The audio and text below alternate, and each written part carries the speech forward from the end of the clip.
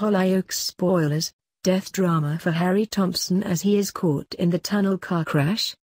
Disaster is set to strike in Hollyoaks as Harry Thompson will be pulled into the danger of the upcoming tunnel crash, as his dad Tony Hutchinson is trying to get him away from the police in the boot of the car. Diane has given Tony the ultimatum, either he chooses her or his killer son. Of course, what none of them including Harry know is that Ryan Knight was actually the one who took the life of Amy Barnes.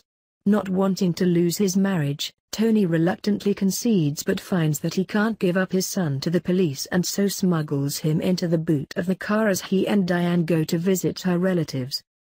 As they travel through the tunnel though, Diane hears noises and soon they are forced to pull over and as she marches round to the boot, she discovers Harry inside.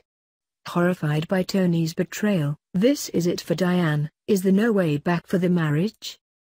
As the pair argue in the tunnel, Harry needs to make a decision about whether to make a break for it. Meanwhile, with the Maalik family having entered the tunnel too, disaster is about to unfold on a colossal scale. As a terrifying series of events blaze out, lives are on the line for both families, but is Harry among those in serious danger? And when Misbah then has to make a catastrophic choice with a lorry hurtling towards the carnage, will she seal the fate of one of her children? Hollyoaks kicks off its unmissable week on Monday 8 January at 7 p.m. on E4.